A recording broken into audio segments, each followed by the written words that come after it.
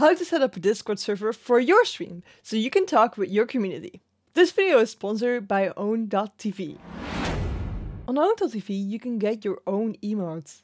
And yes, you can use these on Discord as well. You can use them for your stream, but you can also definitely upload them on your Discord server. You can pick pre-made ones or make them yourself with the emote maker.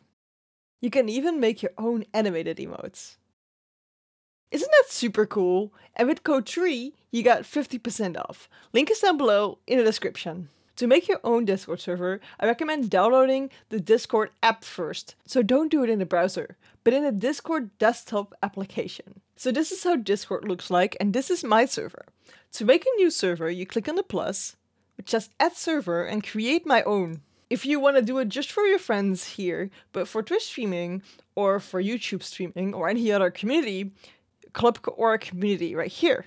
You can give it a server name. You can call it whatever you want. If you have a name for a community, put it in here. If you're gonna make a server all about a game, you can put that in here. For me, I'm just gonna keep it Trui server, just to keep it easy to remember. Here, I'm gonna upload an image which is basically one of these images you see here on the left. It becomes a round circle. So I'm to click on here and we're to browse for an image. So I have my emote here of a cow. So I'm going to click on this one. As you see, it makes it a circle, even though it was a square. So some things might be outside of this frame right now. So keep that in mind. I'm going to click on create. Now it made a new Discord server and it automatically puts it on the top of your server lists. Now you're the only one in here.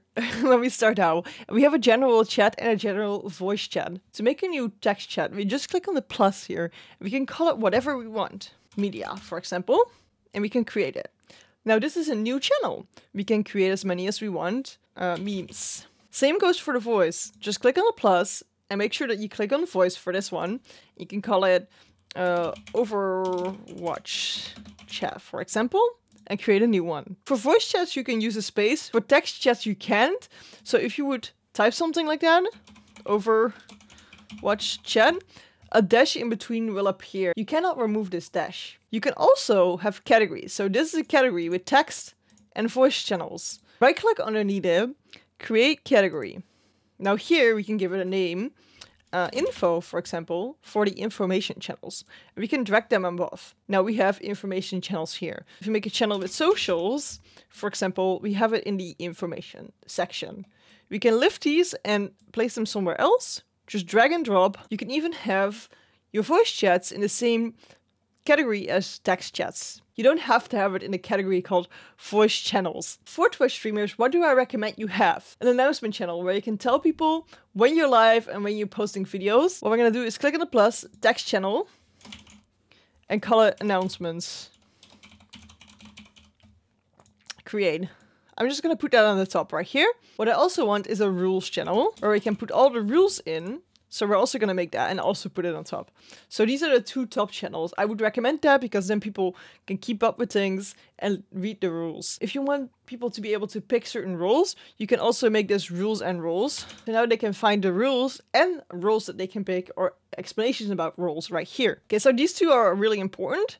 And if you go to my own Discord server, you can see that I have rules and roles here. It explains the rules in my server. It explains what these rules mean, but also I want streamers to be able to get the streamer rule themselves. So I have this bot. If you click on this emote, you will automatically get this rule assigned. Same goes for the commissionable artist, goes for the content creation podcast, and it goes for Twitch, YouTube, and community night alerts. If you want to set these up, I recommend watching this video because I explain how I do it right there. Then I have an introduce yourself channel. For me, this is the place where all these notifications come in saying that somebody has joined and people can also like say who they are basically in this channel. The announcement channel this is where I post whenever I go live on Twitch or whenever I have a video coming up. And I have a bot spam as well. So if you use bots, that are in your Discord server, like Birthday Bots or MEE6 or um, Yak PD.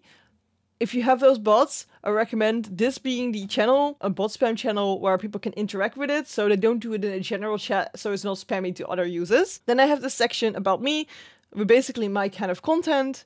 And this is the ch general chats session where people can chat, a media session where people can drop some some funny videos or pictures they make, some memes they made, games, they can talk about certain games, they can show their art they've made, if they're looking for a group to play with, Here's a food channel. I always love the food channel. I love to see food pictures. You can basically decide if you want these channels and how many you want. I do recommend having at least a general chat area where people can talk to each other. Depending on what you want your Discord to be about, if you play a certain game a lot and you want to interact with people about that game. For example, Overwatch, I just keep using it as an example right now. You can make an Overwatch channel as well where people can talk about Overwatch, for example. Because I teach a lot of things about streaming. I do have some channels about streaming here as well. Some free stuff that people can get and thank me. This is just basically for my community. This is unique, so you don't have to have that. I've got some general voice channels and I have one that is locked which means that nobody can go in except for me and my moderators, and I can only drag people in. Because if I'm live streaming, I don't want people to be able to jump in this chat themselves, but I want them to be able to be dragged in there. Then we have this whole moderation area for me with mods, messages, log, and stuff like that. You don't need that many channels for it, just make sure that you have one admin channel that your admins and your mods can talk to each other and discuss if somebody needs to be banned or not. If you start out with a server, you can't make your announcement channel an actual announcement channel yet but if you grow, you can have it to be an announcement channel. You see that this is an announcement channel. This is a text channel. So this means that we can publish things in this channel basically. So if you click on a plus, we can see that there's multiple options here, which one of them is an announcement channel. People will get notifications for these things when they come out. With a stage channel, you can have hosts speak and people just listen in without being able to speak. But this is not available yet when you just start a server. I think the best thing you can do is think about why would people come to my Discord server and build your server around that. Because then you know what kind of channels you need to be. Are you about gaming? Make sure that you have some channels where people can talk about gaming. Do you do something creative? Have some channels where people can share something creative. If you have a server a longer time, you'll see which channels are going to be active and which ones aren't active. Try to switch around delete the non-active channels, add something new in and see if that works better. Otherwise, just delete them. You don't have to add like 100 channels. Better to have 10 active channels than to have 100 channels where nobody is talking in. Another important thing is setting permissions. So for example, in the announcement channel, we don't want anybody to be able to type here. So we're going to edit this channel, go to permissions. Everybody that's in this Discord can view the channel, yes. Manage the channel, no, we don't want them to be able to do things. Manage permissions, no. Webhook, no. Create invite, no. Send messages, no, not in this channel. Send messages in thread, no. Create public threads, no. No, no, no. Add reactions, yes. This depends on what you want. If you want them to be able to react with an emote on it, you can just say yes, otherwise no. Uh, they can use external emotes on it, that's fine. And then the rest of it is no, except for message history. If you turn this off, people don't know what is set in that channel unless they are right there at that moment that is being set. So set this on yes. And no, no. Okay, save. Now, people can see what's being typed in here, but they can't type themselves. I can because I'm the admin. Because I have different permissions per category. So instead of like going for this one, because we don't want them to be able to type in the rules and roles and in the socials, we can also just set it for info instead.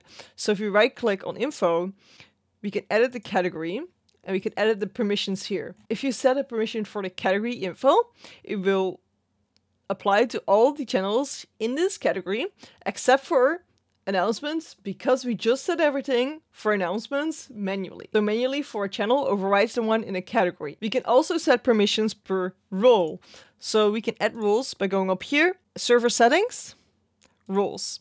Here we can create roles for example, mod. I'm talking a lot more about roles in this video, so if you want to know more about roles, definitely check that out. And what we can do is we can set these permissions per role, so we can plus here and click one of the other roles. We can also click on one of the members to set the permissions for them specifically. But if you have a big server, you probably want them for roles instead. So we can say noobs. They can also so talk, for example. So we can set this on send messages. So every time it's like on the middle part, it means we're not gonna take the rule from this channel, but we're gonna take it from the category info. So it's not set for those things, but we're gonna look at where is it set for in the info channel. You will get the highest permissions of your highest role. So for example, everybody can see this channel, but nobody can talk in it, but noobs can talk. So that means that if you have the role noob, you can talk even though you also are part of the group everybody. So if I give you another rule as well, you still can talk because you are part of the role noob. So you get the highest permissions you get in one of the roles you have. I hope that's a bit clear. I'll make a template for streamers, what I think are the basics for a Discord server. I'll leave it down below in the description, so if you want to set up your own server, you can easily use that one to start out with. So it's basically super simple to start. And I bet you want to learn more about Discord, there's so much more to learn. So let's jump into this playlist all about Discord and I will see you there.